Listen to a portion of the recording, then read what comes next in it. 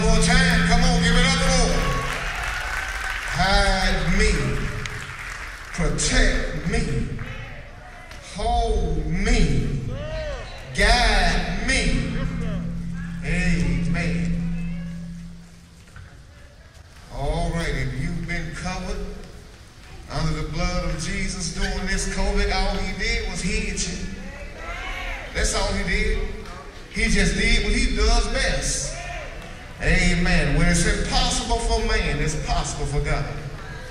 Just right for him. Here is, we're making ready for our free will offering.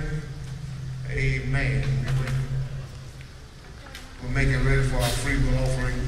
And we do know that we're in a school, that there is some things in the school that does not uh, line up with the church. So we have to be careful. Amen? Amen. So this is a free will offering. But I'm going to say this, that after we receive our offering, that uh, we have a CD here, the latest CD from the Praise Gospel Singers.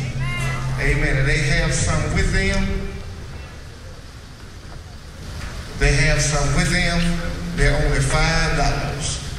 Amen. So you can take one home with you. Matter of fact, the Praise Gospel Singers, they're out of Laurel, Mississippi. Amen. They're out of Laurel. So you know it's going to be good if it's out of Laurel. Amen. I may have to fight before I leave here today. Amen. And I'm going to give this one away in